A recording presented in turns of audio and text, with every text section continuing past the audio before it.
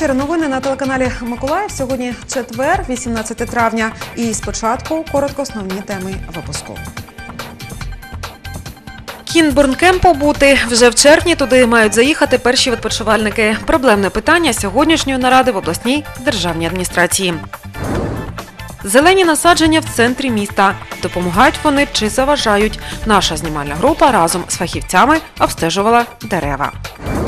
Сьогодні день вишиванки. Історія виникнення національного вбрання, попит на сорочки та патріотичний флешмоб. Репортаж далі у випуску. У 60 років життя лише починається, переконують випускники університету третього віку. Сьогодні дипломи про випуск отримали 138 миколаївських пенсіонерів. 18 травня відзначається День пам'яті геноциду кримського татарського народу. У цей день перші ешелони з кримськими татарами рушили з Криму до середньої Азії. Всього протягом трьох діб тоді примусово вивезли близько 180 тисяч людей. Половина депортованих загинула дорогою або у перші місяці заслання. Депортація кримсько-татарського населення розпочалася о 3 годині ранку 18 травня 1944 року і завершилася в основному 20 травня. До операції було залучено 32 тисячі співробітників НКВД. Депортованим давалося на збори від кількох хвилин до півгодини. Дозволялося брати з собою особисті речі, посуд, побутовий інвентар та провізію в розрахунку до півтони на родину. В реальності же вдавалося зібрати в середньому 20-30 кілограмів речей та продуктів. Абсолютна більшість майна залишалася і була конфіскована державою. Зафіксовано численні випадки мародерства. Протягом двох днів кримських татар звозили машинами до залізничних станцій Бахчисарая, Джанкоя та Сімферополя, звідки ешелонами відправляли на схід. Під час головної хвилі депортації 18-20 травня виселено понад 180 тисяч осіб. Наприкінці червня до Кінбурн-кемпу повинні заїхати перші відпочивальники. Таку заяву сьогодні зробив голова Миколаївської обласної державної адміністрації Олексій Савченко. Про те, як на це відреагували інші члени засідання, дивіться далі. Сьогодні відбулась нарада щодо подальшої роботи Кінбурн-кемпу, котрий знаходиться на території національного парку Білобережжя Святослава, а точніше те, що від нього залишилось після руйнування. Нагадаємо, невідомі у квітні цього року знесли місце відпочинку для молоді. Його засновник Євген Лютер підозрює в цьому керівництво національного парку. Тобто ви з 12 року працюєте? Да, з 12 року. Розташований е, споруда, тимчасова споруда була на вашій території? Воно е, розташовано в межах е, Національного природного парку Білобережжя Святослав. Ваш, на вашій території?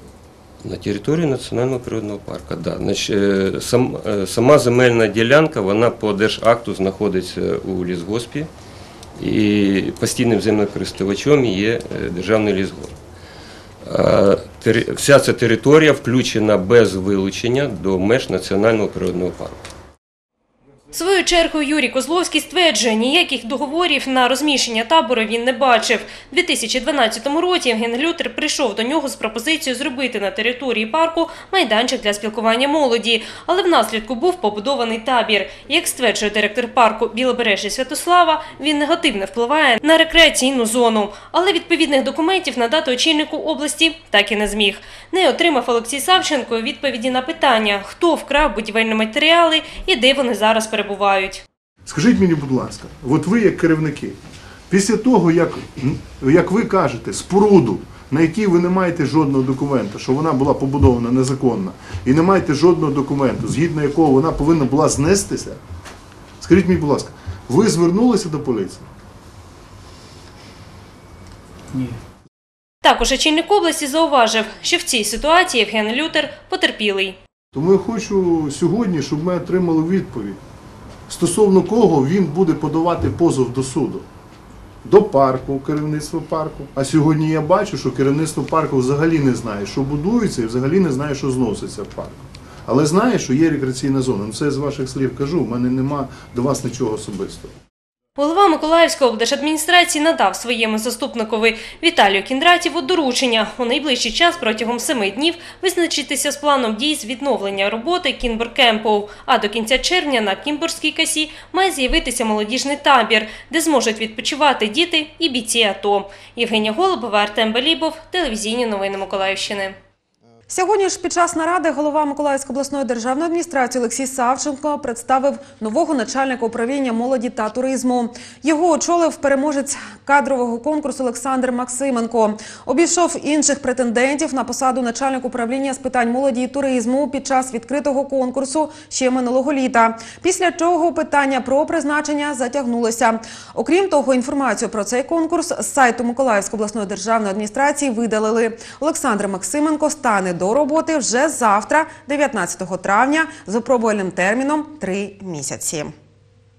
І до інших тем 20-та чергова сесія Миколаївської міської ради ознаменувалася обговоренням не тільки земельних питань. Окрім голосування за припинення або продовження права власності на земельні ділянки, знов говорили про кронування дерев, підвищення плати за проїзд та сумнозвісний льодовий каток.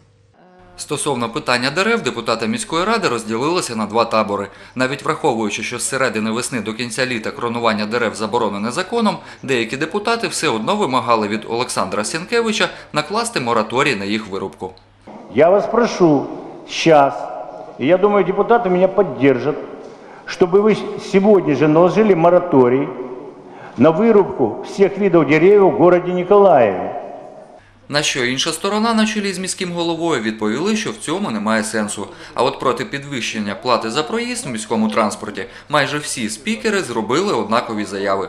Хотел бы сказать следующее. Ну, во-первых, мы категорически против повышения тарифов.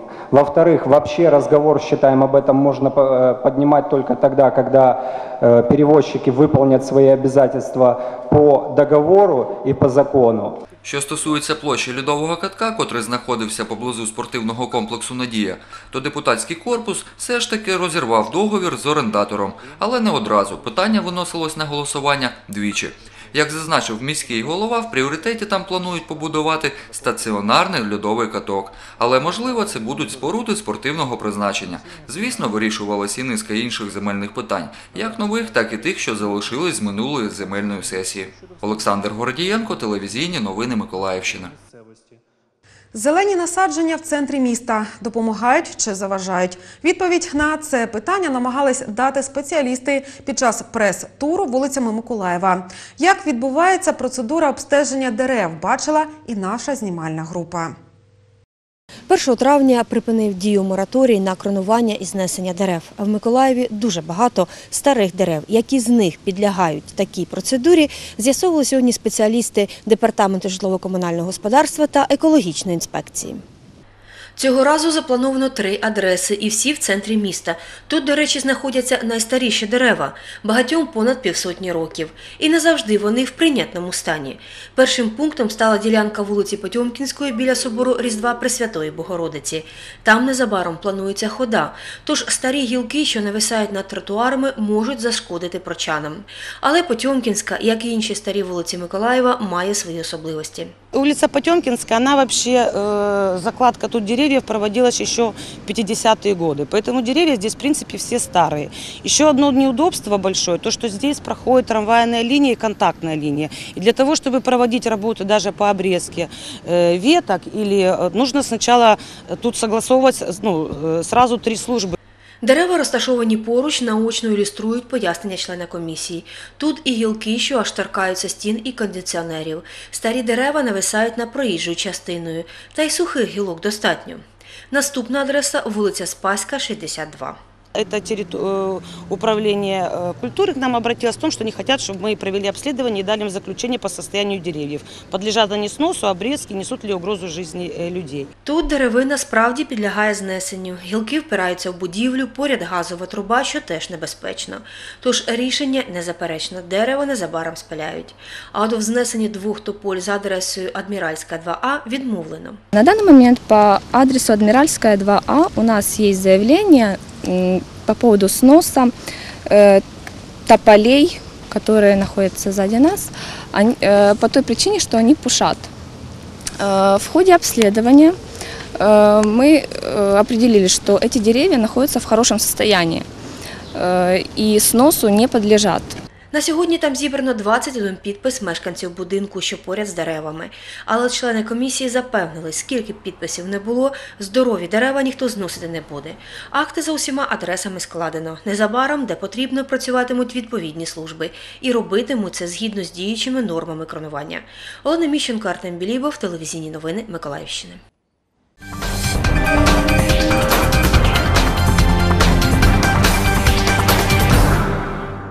На Миколаївщині оперативники розкрили вбивство раніше засудженого мешканця міста Новий Буг. Підозрюваний був затриманий у Кропівницькому, де й переховувався від правоохоронців.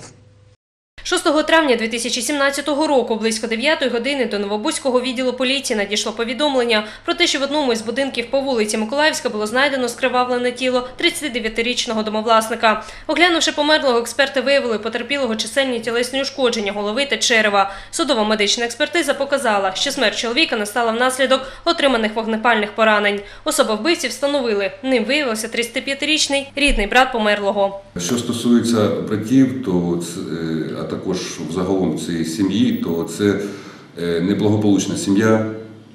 Оба брати раніше були засуджені. Потерпілий був засуджений за статтею 39, а також за нанесення тілесних ушкоджень своїй рідній матері. Постійно збивав свою матір, притягувався до відповідальності як адміністративної, так і кримінальної. Е, Брат також був судимий за е, статтею 410 Кримінального кодексу за дезертирство ну, в позапрошлому році. І в них були дуже, непри, дуже е, неприязнені відносини.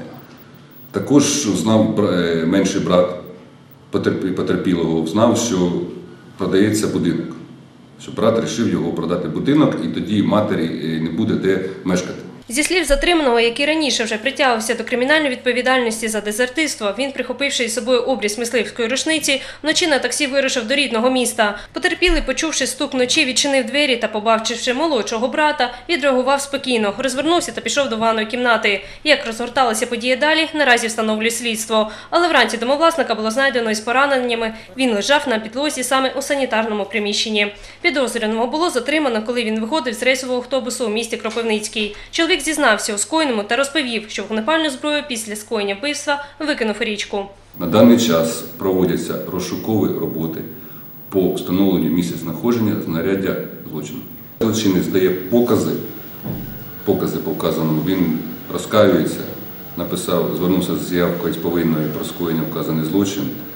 А що стосується подальшої судьби, то він за це не думав. Він хотів позбавитися свого брата, щоб він не мучив і його матір.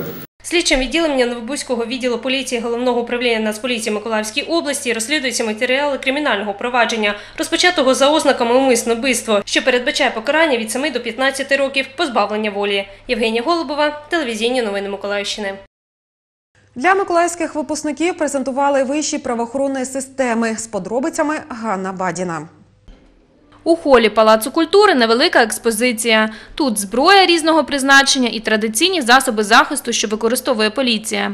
Для небайдужих до подібних речей міні-консультація за бажанням фото на згадку.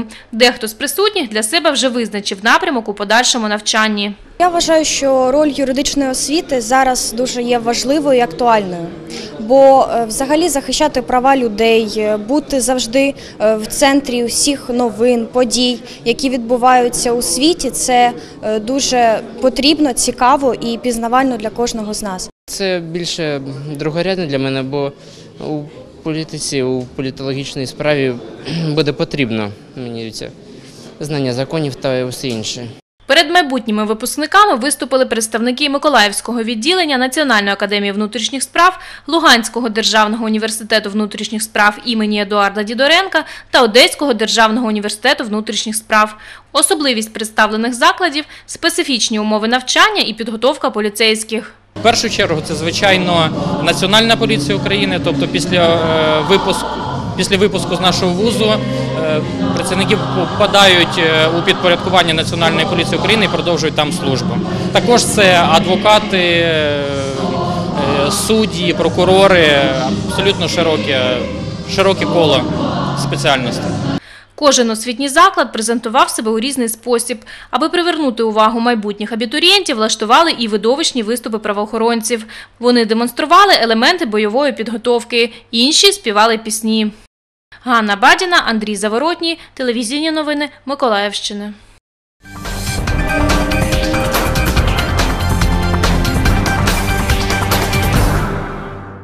Сьогодні Всесвітній день вишиванки. Українці в усьому світі одягають вишиті сорочки, щоб вшанувати традиції та звичаї свого народу. Миколаїв не виняток. Як містяни відзначили День вишиванки, знає Вікторія Чернявська. У фондах Миколаївського обласного краєзнавчого музею нині зберігається понад 400 вишитих сорочок з різних куточків України. У давнину вишиванка перш за все була повсякденним одягом. На тканині майстрині, як правило, зображували елементи із навколишньої дійсності. Саме тому візерунок різнився залежно від регіону. Чому от для нашого регіону властиво червоні і чорні кольори? Так? Чорне це земля, у нас е, чорнозем, так? і червоне це енергія сонця. І рослинність у нас ну, не не настільки яскрава, так, як на Західній Україні. Е, І тому вишивали от в червоних і чорних кольорах в основному рослинний е, орнамент. З часом значення вишиванки змінилось. Для одних вона стала способом підкреслити національну ідентичність, для інших модним та стильним елементом одягу. Сьогодні ж у магазинах з продажу патріотичного вбрання аншлаг. Найчастіше попитом користуються в такі дні, як День вишиванки, парад вишиванок, мегамарш в Миколаєві. Він проводиться два рази на рік. І перед е, на перший останній дзвоник. На сьогодні дуже актуальна тема одягати вишиванку, бути у вишиванці. І це не з політичних уподобань зовсім, а з ем, ну, це знаєте, як повернутися в дитинство. Найбільше дню вишиванки радіють діти. Дівчатка чепуряться та одягають національне вбрання. Хлопці ж стриманіші. Втім, в один голос говорять про важливість заходу. Для мене вишиванка це як український народний одяг. е, Це як звичайна біла сорочка, але на ній є символи України. Коли ти вдягнений вишиванку, ти відчуваєш, е, що ти є, є, патріотом, що ти народився в Україні, живеш в ній, і це видно, навіть якщо ти просто йдеш по вулиці. До святкування долучились і учні першої української гімназії імені Миколи Аркаса. Малеча у вишиванках організувала запальний флешмоб під назвою Україна це Європа. Ми одна країна.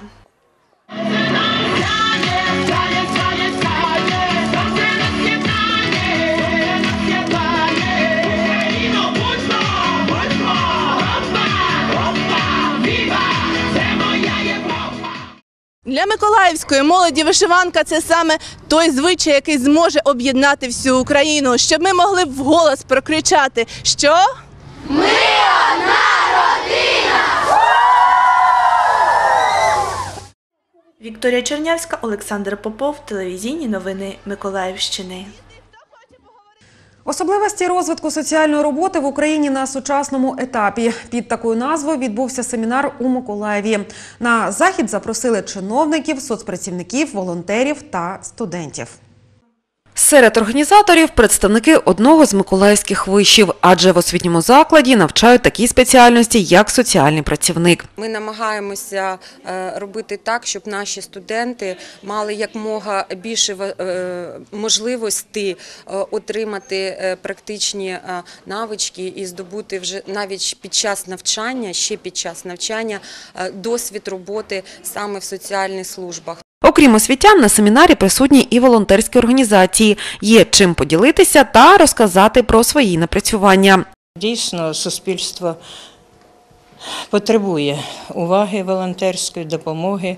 Направлення у нас традиційні були десь три напрямки: це молодь, діти пенсіонерам, і навпаки, пенсіонери е, виховують, допомагають молоді, дітям, і пенсіонер пенсіонеру. Активно долучаються до обговорення питань і представники обласного центру соціальних служб для сім'ї, дітей та молоді.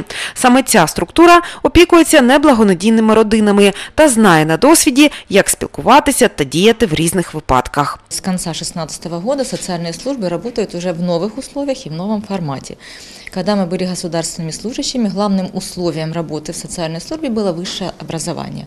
Сегодня изменился подход, и у нас в системе работают педагоги, юристы, социальные работники, методисты, фахівці соціальної роботи. Досвід роботи у соціальній сфері передають і працівники зі стажем.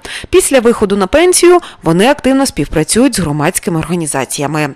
Основним завданням цієї громадської організації є об'єднання соціальних працівників для надання послуг людям, які проживають на території Миколаївської області. І членами ліги можуть бути не тільки працівники системи або якихось закладів, це можуть бути навіть пересічні громадяни. Тривав семінар один день. Усі учасники працювали за різними тематичними напрямками. Для цього організували чотири секції. Наталя Приходько, Олександр Попов, телевізійні новини Миколаївщини.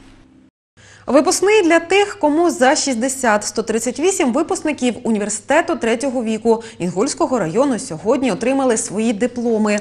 На урочистостях побували і наші журналісти. Університет третього віку розпочав свою роботу в 2011-му. Кожного року тут випускається близько 700 студентів-пенсіонерів. Наразі в університеті діє 5 факультетів.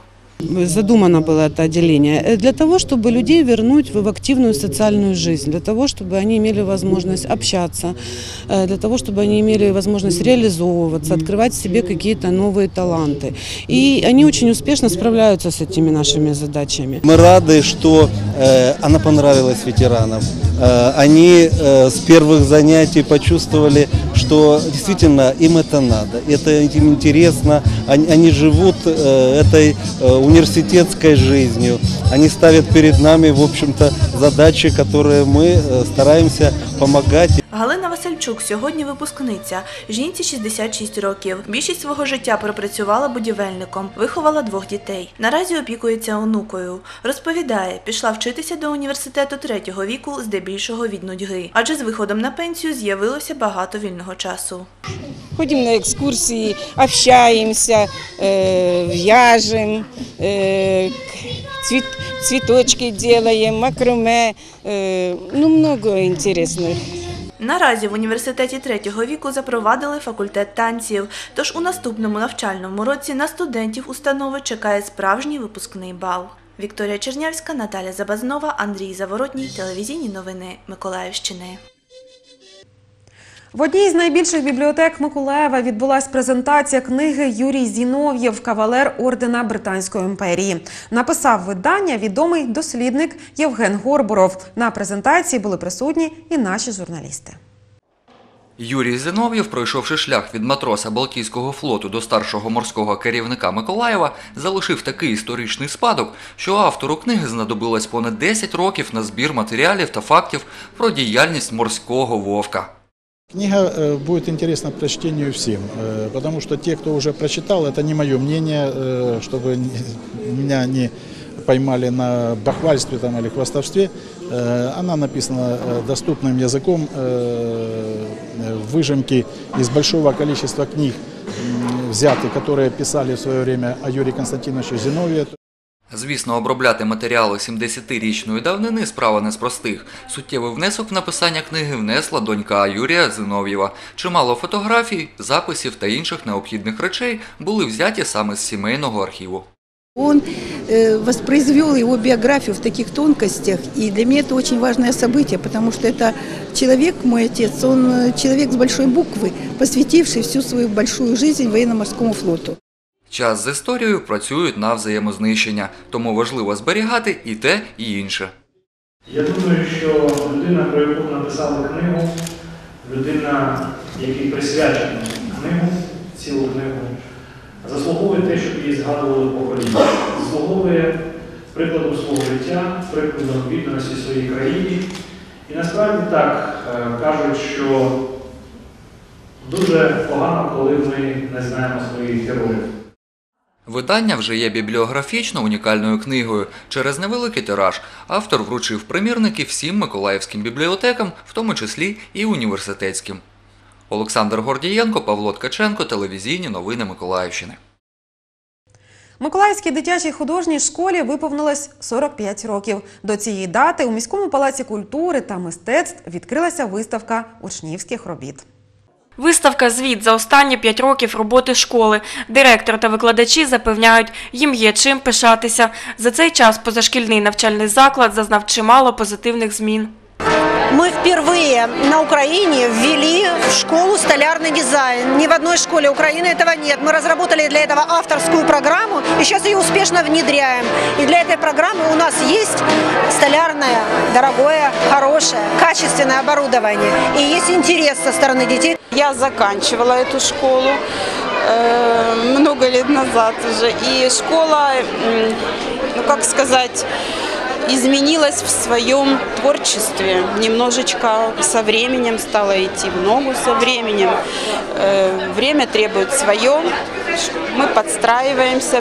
Наталія Кононова навчається у художній школі вже три роки. У майбутньому дівчина планує стати художницею і впевнено крокує до своєї мети. Це вже друга виставка, на якій експонується її робота. Конечно же, мне нравится там учиться тем, то, что там очень ну. Ты узнаешь более такие секретики, там, как там сделать то, как это сделать. Організатори та відвідувачі зауважують, це наймасштабніша виставка художньої школи за весь час існування. Тут представлено близько 600 робіт, виконаних у різноманітних техніках, учнями віком від 5 до 15 років. Я видел очень много выставок этой школы. И в самой школе, и вне ее. Вот эта выставка одна из самых праздничных, одна из самых разнообразных, ярких и по материалу, и по техникам, и по фантазии. Но она, на мой взгляд, является одной из квинтэссенций ну, всего вот этого э, творческого пути школы. Виставка експонуватиметься у міському палаці культури та мистецтв до 27 травня. Наталя Забазнова, Артем Клименко, телевізійні новини Миколаївщини. Що ж, це були всі події, якими запам'ятався цей день, 18 травня. Бажаю вам усього найкращого і до побачення.